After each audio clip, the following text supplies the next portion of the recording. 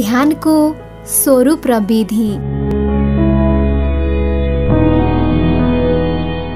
भनिन्छ बाहिरी शत्रुसँग लड्न सकिन्छ।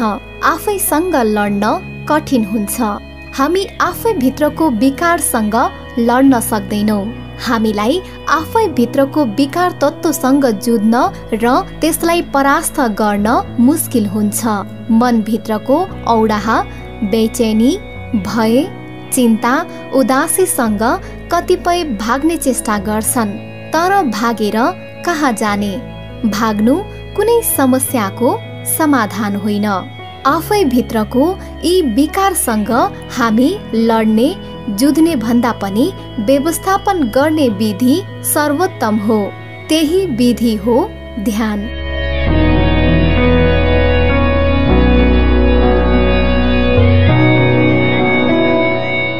नम्बर एक ध्यान विधि। ध्यानले हामीलाई दुई प्रकारले मद्दत गर्छ। यसले हामीलाई मानसिक रूपमा शान्त राख्छ। त्यसबाहेक ध्यानले हामीलाई त्यो अवस्थामा पुर्याउँछ जहाँ भगवानको माया र परमानन्दको प्राप्ति हुन्छ। ध्यानको समयमा हाम्रो सांसारिक समस्या जिउको त्यौँ रहन्छ। तर ध्यानको माध्यमद्वारा हामी भगवानको याद र त्यसको आनन्दमा यति धेरै मस्त हुन्छौँ कि हामीलाई आफ्नो समस्या र दुःख पीडाको बारेमा कुनै आभास हुँदैन।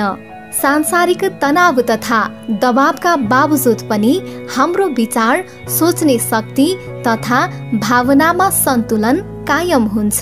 तनावलाई सजिलै नियन्त्रण गर्न सक्दछौँ। यसरी ध्यानको माध्यमद्वारा जिन्दगी जिउने त्यो तरिका सिक्छौँ जसमा हामी हाम्रो सांसारिक तनावमाथि काबु पाउने गर्छौँ। यही विधा मार्फत हामी सुख शान्ति तथा आनन्दको बाटो पहिल्याउन सफल हुन्छौँ।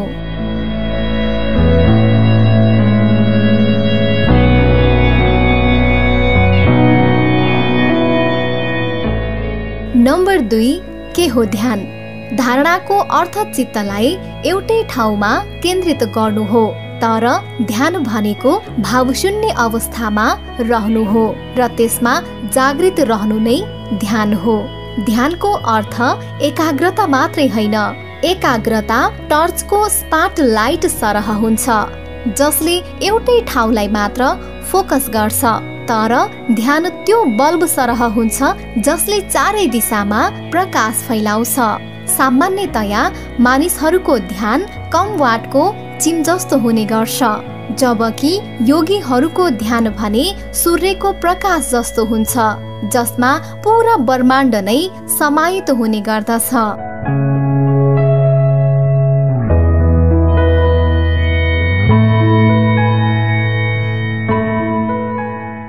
नम्बर तिन ध्यान कुनै क्रिया होइन। कयौँ मानिसहरू ध्यानलाई नै सरदर्शन क्रिया भावातीत ध्यान क्रिया तथा सहज योग ध्यान सम्झने गल्ती गर्छन्। अन्य विधिलाई समेत उनीहरू ध्यान सम्झने गर्छन्। कयौँ सन्त गुरु तथा महात्मा ध्यानको कयौँ प्रकारका क्रान्तिकारी विधिहरू बताउने त गर्छन्। यद्यपि उनीहरूले विधि र ध्यान बीचका फरक भने कहिल्यै बताउँदैनन् जबकि क्रिया र ध्यानमा आकाश जमिनको फरक छ किनकि क्रिया साधना होइन साध्य हो केवल एउटा औजार हो। त्यसैले त आँखा बन्द गरेर बस्दैमा ध्यान हुँदैन। कुनै मूर्तिलाई स्मरण गर्नु वा माला जप्नु पनि ध्यान हुँदैन।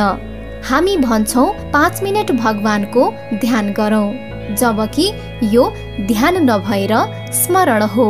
ध्यान त तब गरिन्छ जब क्रियाबाट मुक्त भइन्छ विचारबाट मुक्त भइन्छ।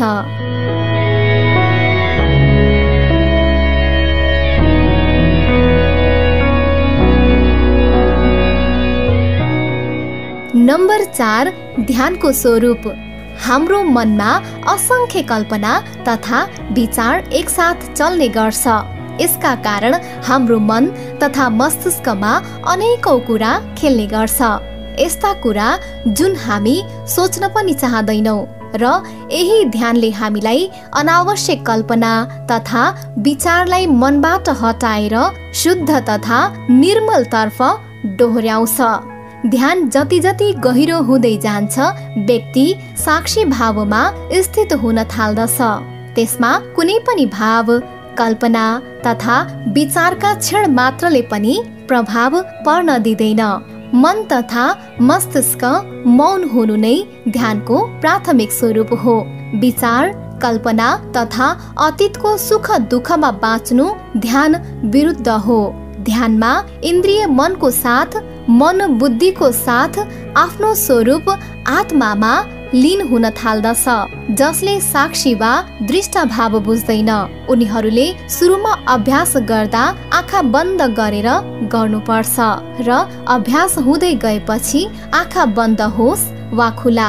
साधक आफ्नो स्वरूपको साथ नै जोडिएर रहन्छ र अन्तमा ऊ साक्षी भावमा स्थिर रहेर कुनै कामलाई पुरा गर्दै पनि ध्यानमा बस्न सक्छ।